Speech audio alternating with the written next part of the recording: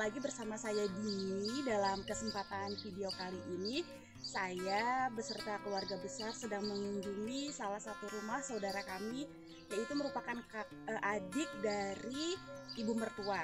Sebelumnya bagi kalian yang baru pertama kali mampir ke channel saya, terima kasih. Dan kalau kalian belum subscribe, subscribe nih ke tombol ini karena subscribe itu gampang dan gratis. Merantau hidup di Hungaria dan jangan lupa klik lonceng untuk mengikuti video-video update terbaru dari saya. Terima kasih.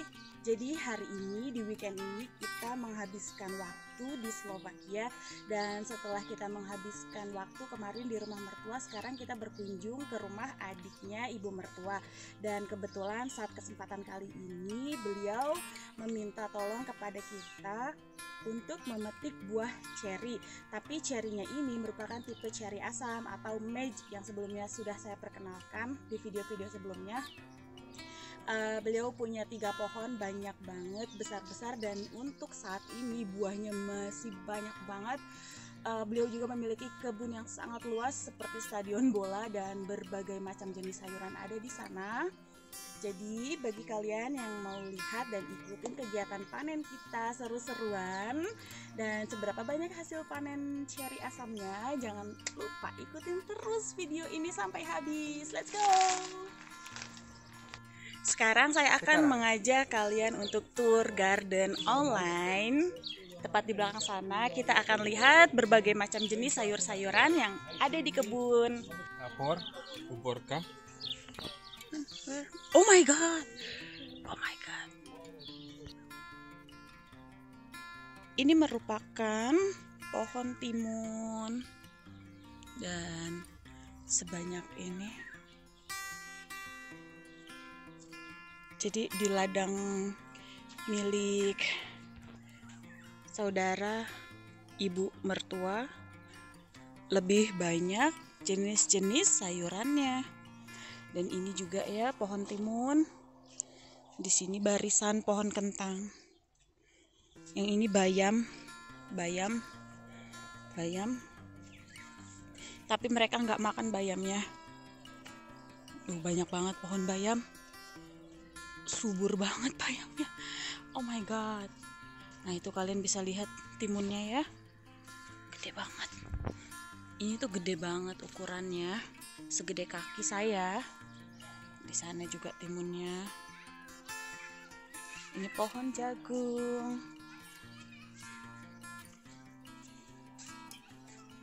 Jagung.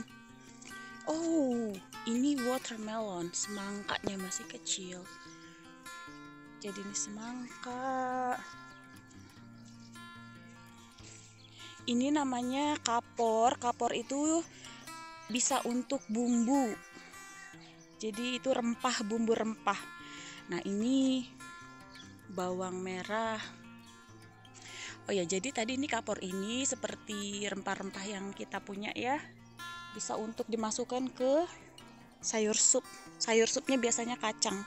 Yang ini kapor dan ini wortel seledri seledri itu kacang kacang-kacang. Ini cekla cekla itu root beetroot yang warna ungu. Mana ini? Hamparan daun bawangnya banyak banget. Nah jadi ini lihat ya daun bawangnya. Dan ini bunganya bawang dan bawang ungu. Kalau di Indonesia bawang merah, tapi ya di sini bawang merahnya sebesar-besar bawang bombay. Dan ini kayaknya kacang. Mana lagi? Ya? Ini timun, timun, timun ya, timun.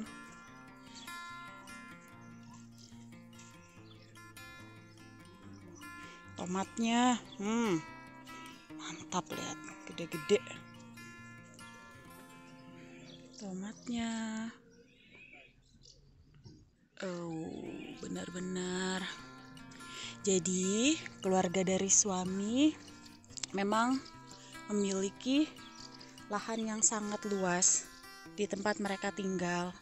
Jadi, mereka mengolahnya di saat musim panas ditanami berbagai jenis sayuran untuk kebutuhan mereka dan ini juga sayur oh ya ini tadi sayur kolnya. Ini sayur kol. Ada. Dilindungi oleh plastik karena jenis sayurannya tidak bisa terkena panas.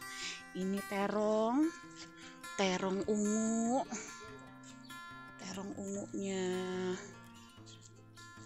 Ini cabe cabe cabe. Karalabe karalabenya jadi gimana? Sekarang kita menuju pohon ceri yang selanjutnya akan kita garap buah-buahnya. Tadi kan sudah ya kebun sayur. Dan sekarang kita akan lanjut. Nah ini seperti ini kita petik buah cerinya Baiklah, sekarang kita akan mulai memetik pohon ceri ini. Oh my god, melimpah ruah buah cerinya. Jadi posisi saat ini saya tuh bingung mau petik yang mana. Ini karena hampir di seluruh rantingnya, cabangnya itu banyak banget buahnya tapi yang meminta tolong kepada kami menyuruh untuk mengambil buah ceri yang di atas karena memang susah.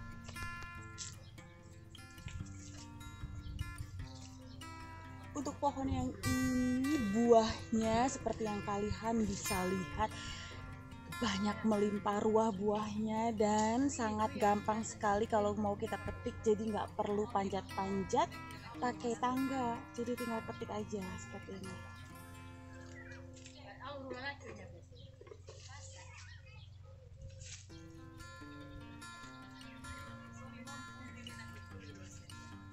Papa, hmm? you need to collect from the top.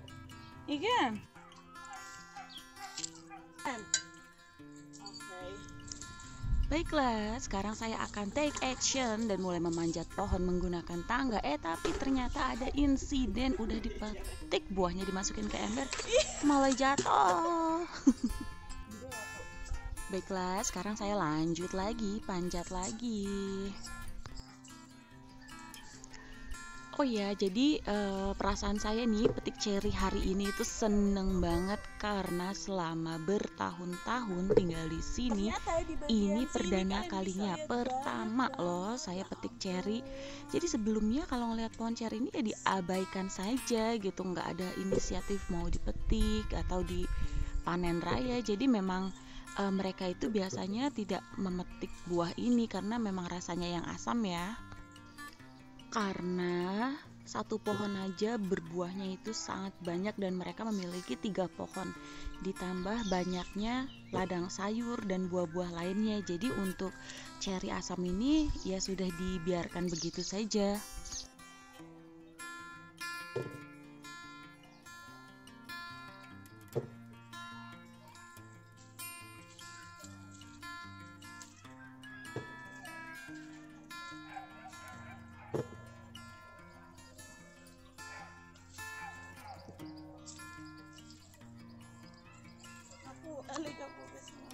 Sekarang posisi saya sudah di atas pohon ceri untuk petik cerinya dan saya sudah sediakan basketnya di sini untuk menampung buah ceri yang saya akan petik-petik ya.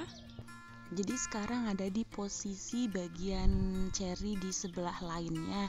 Tadi yang di sebelah sana sudah digarap semua dan sekarang saya pindah posisi petikin buah ceri yang masih banyak banget. Uh, jadi nih ya rasa dan sensasi saat kita memetik buah ceri beberapa buah ya di tangan terus kita tarik dan itu tuh banyak banget di genggaman tangan kita itu. Aduh sesuatu banget bener-bener seneng banget.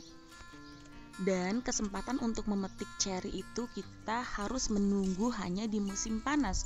Dan di saat musim panas pun memetik ceri itu hanya dalam beberapa minggu karena saat buah-buah cherry ini berbuah mereka itu nggak tahan lama jadi hanya seminggu dua minggu saja. Dan memiliki kesempatan untuk memanen buah cherry itu bagaikan anugerah banget bagi saya Pokoknya nih ya, posisi kita ini posisi saya sebenarnya di atas banget, udah hampir ke ujung. Jadi ini di atas tangga ini sambil mau metikin yang paling ujung di atas ini sambil jinjit. Ah, susah banget. Hmm.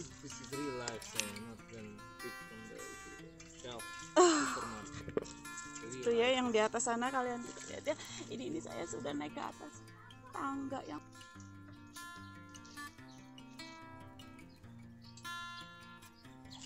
charity. Ya lihat ya cerinya ya ampun banyak ngegerendel banget. ngegerendel padahal udah dipetik dan ini sudah udah ada seember. Iya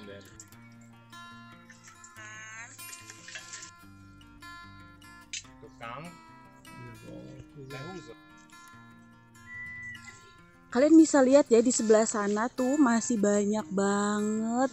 Padahal kita sudah petik bertigaan, saya, suami dan mertua. Tapi yang di sebelah sana masih belum dan ini merupakan tugas kita yang harus kita bereskan untuk memetik buah-buah ini.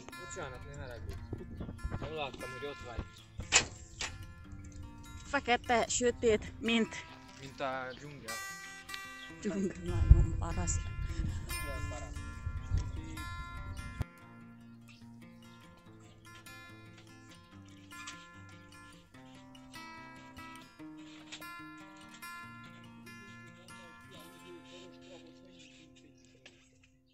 Måste det för mig.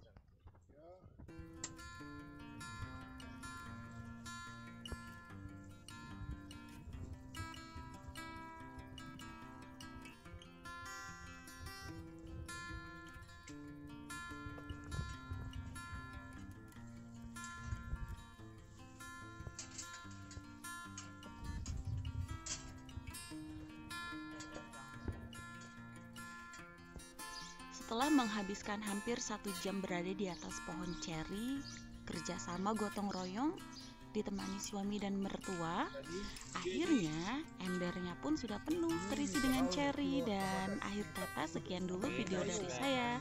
Terima kasih bagi kalian yang sudah bersedia nemanin kita untuk panen ceri kali ini. Terima kasih. Gitti Muy